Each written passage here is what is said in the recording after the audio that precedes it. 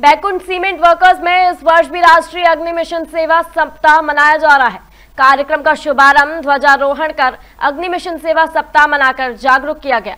अग्नि मिशन सेवा सप्ताह विक्टोरिया बंदरगाह पर फोर्ट स्टीकेन जहाज़ में हुए विशाल अग्निकांड में शहीद हुए। फायर कर्मियों को श्रद्धांजलि देने के उद्देश्य से मनाया जाता है। इस दौरान सुरक्षा में सक्रिय योगदान देने वाले कार्मिकों को पुरस्कृत किया जाता है। वहाँ पे विशेष जागरूकता अभियान चलाते हैं ताकि जो भी ज्वलनशील सामग्री है, उसको वहाँ से हटा लें। और साथ में हमारा जो फायर फाइटिंग इक्विपमेंट है फायर डिटेक्शन सिस्टम है फायर प्रोटेक्शन सिस्टम है सब का हम जाँच कराते हैं। उसमें साथ ही थर्ड पार्टी एजेंसी को भी बुलाते हैं ताकि अवेयरनेस हो इंस्पेक्शन हो सर्वे हो।